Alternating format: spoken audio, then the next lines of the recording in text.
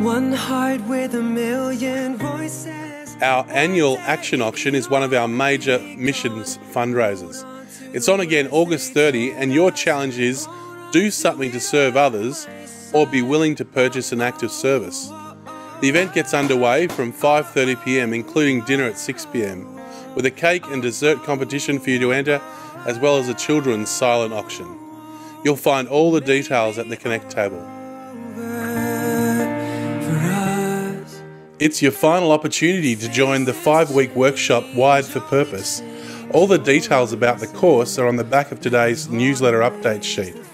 But be sure to check out the Connect table to sign up after the service as registrations close today. This coming weekend, our youth and young adults are having their Slumdog Sleep Out.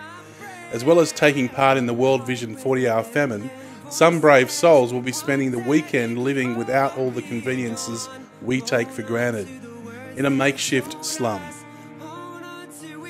If you've got a tarp you can spare for their efforts, see Nick. But even more importantly, they would love your support in their fundraising efforts to help kids living in poverty around the world.